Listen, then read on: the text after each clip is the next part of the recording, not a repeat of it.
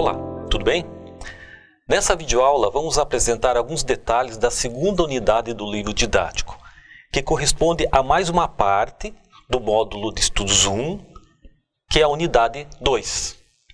Ela tem como foco principal as aplicações com vetores e matrizes, e na prática o universo de aplicações é bem extenso. Contudo, para nossos estudos, inicialmente vamos abordar duas aplicações clássicas com vetores, que seriam a pesquisa e a classificação ou ordenação de dados. Com relação à pesquisa, também podendo ser chamado de busca, tem-se como objetivo localizar em um conjunto de dados um determinado elemento, que corresponde a uma chave de busca ou pode ser chamado de pesquisa. Os métodos mais comuns são a pesquisa sequencial ou linear e a pesquisa binária. Vamos ver no próximo slide uma definição para a pesquisa sequencial.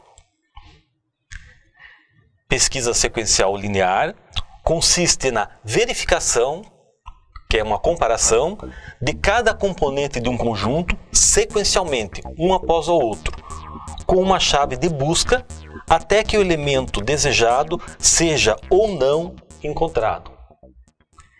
Percebe-se na definição que é um método simples, em que ocorre uma varredura do conjunto até que o elemento que está sendo buscado seja encontrado.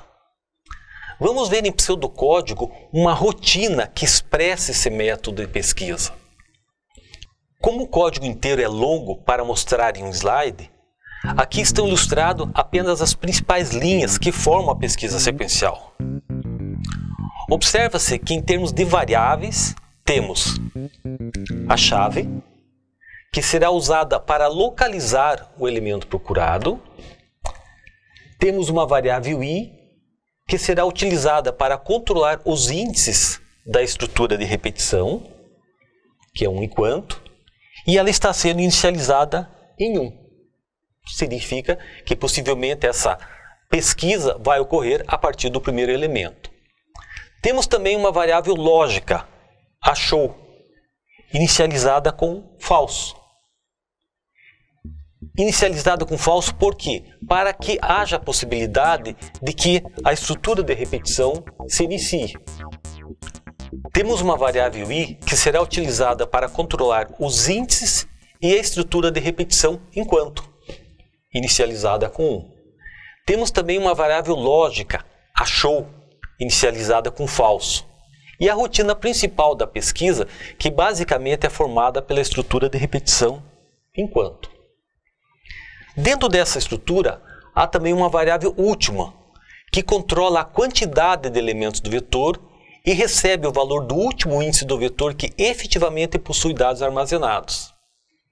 A atribuição de valor dessa variável ocorre quando da entrada dos dados, que não aparece aqui no conjunto. Analisando a estrutura de repetição, percebe-se que é controlada por duas subexpressões lógicas. Uma delas i menor ou igual ao último, que fará o controle de leitura até o último elemento do vetor, caso o elemento a ser pesquisado não for encontrado. Como i foi inicializado em 1, e se o vetor não está vazio, a variável último é maior ou igual a i. Portanto, tornam a expressão verdadeira. A outra expressão ou subexpressão de enquanto é achou igual a falso. Como a variável achou já foi inicializado com falso, também essa é verdadeira. E como o operador lógico é uma conjunção que precisa que as duas subexpressões sejam verdadeiras, fazem com, com, com que essa estrutura enquanto passe a ser executada efetivamente. Internamente, na estrutura de repetição, percebe-se que é uma estrutura de decisão, que fará uma comparação individual de cada elemento do vetor, que neste caso é denominado nomes. Até que o elemento seja encontrado, aí quando a variável lógica passa a receber a condição de verdadeiro, que por sua vez torna uma das subexpressões falsa, né, interrompendo assim a estrutura de repetição. Caso contrário, a leitura será feita até o final do vetor, tornando a outra subexpressão, subexpressão falsa, ou seja, até que o valor i seja maior que o valor do último.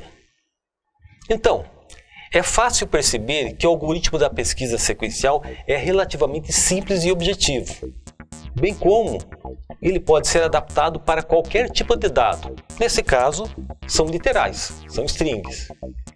Contudo, apesar de ser um método funcional, se pensar numa lista extensa de nomes, por exemplo, se o elemento procurado estiver numa lista é, de milhares, né?